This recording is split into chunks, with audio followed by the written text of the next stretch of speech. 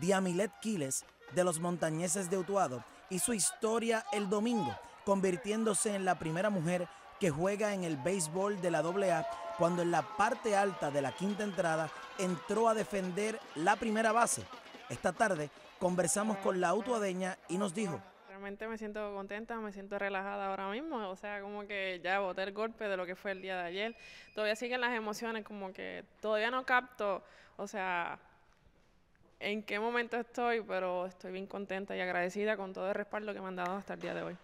Esa misma mañana este, va uno de los fanáticos de toda la vida de los montañeses y me enseña álbumes de los tiempos de antes y me enseña fotos de, de, esos mismos compañeros que estaban allí y dije, wow, lo que, lo que hemos hecho, ¿verdad? Este, reunir tanta gente ha sido súper lindo, de verdad que, que no hay palabras para explicar lo que realmente siento estoy bien agradecida por todo. Yo creo que ayer mismo, ¿verdad? Este, los pitchers estaban como si nada, o sea, era ahí a recta limpia, metieron cambio y realmente me siento confiada simplemente pues ahora seguir entrenando más, buscarle más este, los ajustes para entonces llegar a, a, la meta que será dar el primer hit, que sea en el, nombre de Dios, ¿verdad? En, en su momento y seguir trabajando.